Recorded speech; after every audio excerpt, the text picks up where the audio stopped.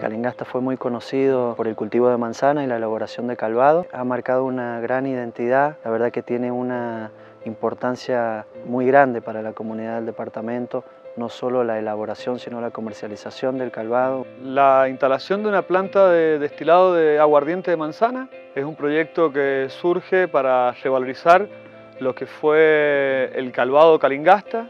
Reúne todas las características para hacer de la misma forma que se hacía antiguamente. Desde la Universidad Nacional de San Juan fuimos convocados para de algún modo aportar a este proyecto en función de la metodología y el modo de, trabajo que tenemos, que es de diseñar con la gente, para la gente y en función de los recursos del lugar. Se está haciendo todo un proceso abierto, colaborativo y participativo con las mujeres que son las que están participando ahora. Ellas van a ser las, las encargadas de producir las etiquetas y producir los envases o otros elementos que van a acompañar el Calvados en el centro de interpretación. Lo que nosotros proponemos en, esta convocatoria es eh, implementar un poco de modernización en el proceso, pues en lo que es el diseño. Antaño lo que se hacía es obtener el destilado de la sidra de manzana por una destilación simple, una destilación en alambique, eh, y nosotros proponemos utilizar una columna de rectificación eh, la cual nos permite obtener en menor volumen mayor contenido de alcohol y también nos lleva a un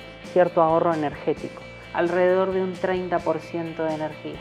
Si el COFECIT no hubiese participado este, en nuestro proyecto del Calvado, realmente no lo hubiésemos podido realizar. Primero porque no teníamos el financiamiento. Segundo, se necesitaba adecuar el destilado del Calvado a la tecnología actual que tampoco teníamos acceso. Entonces, la labor del COFECIT en este proyecto es el corazón, el motor mismo del proyecto. Con la recuperación de este proyecto esperamos eh, nuevamente eh, reposicionarnos en el mercado, eh, reposicionarnos en la producción y seguramente va a ser una actividad que va a volver a posicionar a Calingasta y va a lograr ser la capital del Calvado.